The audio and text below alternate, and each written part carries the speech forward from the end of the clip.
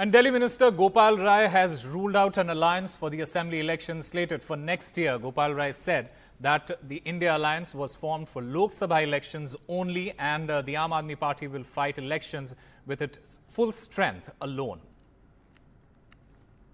लोकसभा चुनाव ये पहले दिन से स्पष्ट है कि इंडिया गठबंधन लोकसभा चुनाव के लिए बना था हमने मिलकर के चुनाव लड़ा है जहाँ तक विधानसभा की बात है विधानसभा के लिए कोई गठबंधन अभी तक नहीं बना है अकेले आम आदमी पार्टी चुनाव लड़े आम आदमी पार्टी पूरी ताकत के साथ चुनाव लड़ेगी And Ishika joins us on the phone line to get us more details. Ishika, it does look like after coming together in Delhi for the Lok Sabha elections, Aam Aadmi Party will be fighting solo in the assembly elections.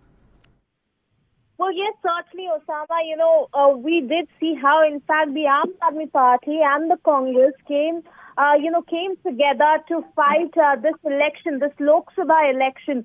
This certainly was a litmus test for them, where in fact they failed by not even getting one Lok Sabha seat in Delhi. So after that, you know, today a meeting was called of the uh, of all the Aam Aadmi Party leaders for serious introspection as to what went wrong and why. Uh, you know, they only got three seats. Now, after that, you know, certainly Gopal Rai, who is uh, not just a senior leader of the Aam Aadmi Party, but he's also the Delhi chief of the Aam Aadmi Party. He, in fact, saying that now, uh, if we talk about the assembly polls, the Aam Aadmi Party will be going there with its full strength without the Congress. Certainly, saying, you know, that uh, uh, this, uh, you know, this certainly shows that Aam Aadmi parties, they as well feel that this coalition did not work at all, did not go them any results in the Lok Sabha election, and thus they are not going uh, forward with, uh, you know, uh, w- uh, with Congress as well in the assembly elections. Now, meanwhile, let me also tell you that we did see that for the Lok Sabha polls, a coordination committee was also formed between the Aam Aadmi Party and the Congress. Now, the Congress head of the coordination committee, uh, you know, Mr. Subhash, uh, he had said, you know, that they are in fact still evaluating as, uh, you know, if, uh, you know, their coalition uh, bore them any benefit in this Lok Sabha election.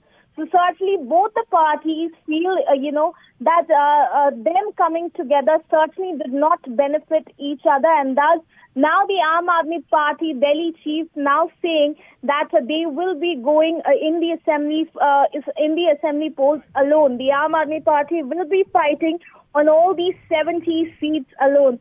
But meanwhile, let me also tell you that the BJP has also now taken a dig, calling this alliance an opportunistic alliance and saying that, you know, it is certainly good news for the people of Delhi that the opportunistic alliance has now come to an end. So certainly the war of words has also now erupted over this. Over to you.